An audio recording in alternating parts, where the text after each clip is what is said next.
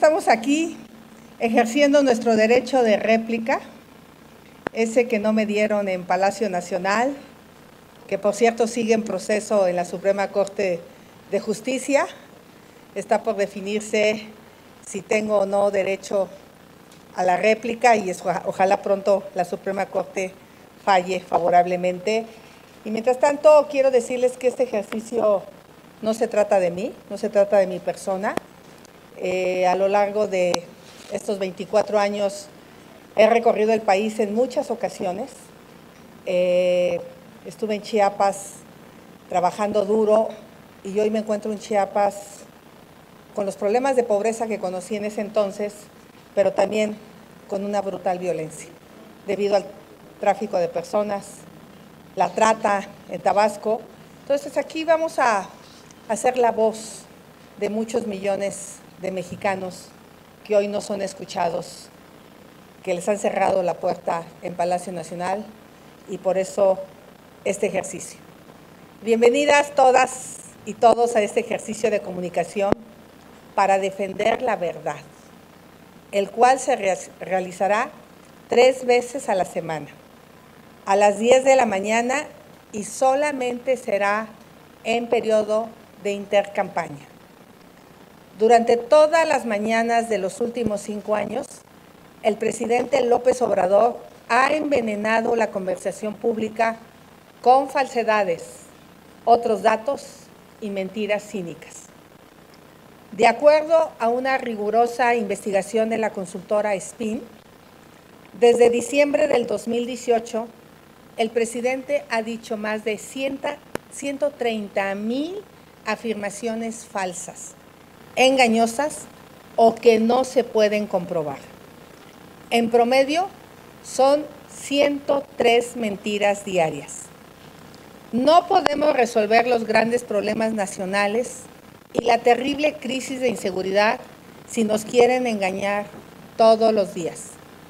La mentira más grande de Andrés Manuel López Obrador, la mentira histórica de este sexenio, es que ellos no mienten sin ningún pudor, sin ningún recato, sin ningún respeto por la inteligencia de los mexicanos, nos recetan una dieta diaria de mentiras. Es decir, le dan a México a tole con el dedo. La segunda mentira más grande de nuestro tiempo es que México está mejor que nunca. He recorrido el país de norte a sur todas las entidades de la República y lo que veo es abandono y violencia. El presidente Andrés Manuel López Obrador traicionó a los mexicanos que confiaron en él. López Obrador traicionó a las madres buscadoras de Sonora que dejó sin apoyo ni solidaridad para buscar a sus hijos. López Obrador traicionó a los productores de limón y aguacate en Michoacán. López Obrador traicionó a las niñas y niños de Guerrero que tienen que aprender a usar armas de fuego para defenderse del poder del crimen organizado. López Obrador traicionó a las familias que tienen que pagar tributo, tienen que pagar derecho de piso simplemente por vivir en sus comunidades. López Obrador traicionó a los periodistas que son asesinados y sus crímenes permanecen en la absoluta impunidad.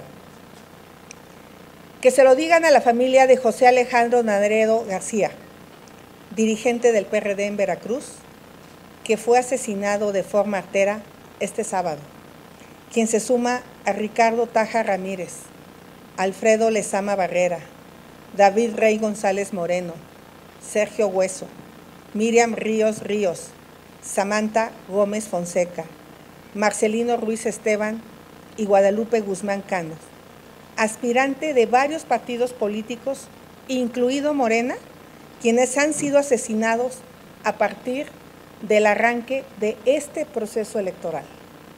La mentira es que México está mejor que nunca. La verdad es que López Obrador traicionó a México. En estos ejercicios de comunicación, siempre les voy a dar un dato verificado. que refleje el verdadero México y así desmentir la cortina de embustes y calumnias que nos receta el inquilino de Palacio Nacional y su corcholata. El dato de hoy es que este es el sexenio más violento de nuestra historia. En los primeros cinco años del sexenio de Felipe Calderón, asesinaron a 95 mil personas, un promedio de 52 homicidios diarios. En los primeros cinco años del sexenio de Enrique Peña Nieto, asesinaron a 120 mil personas, un promedio de 66 homicidios diarios. En los primeros cinco años del sexenio de Andrés Manuel López Obrador, asesinaron a 170 mil personas, un promedio de 93 homicidios diarios entre diciembre de 2018 y diciembre del 2023. Estos datos comprueban que en materia de violencia e inseguridad, México está peor que nunca y esa es la verdad.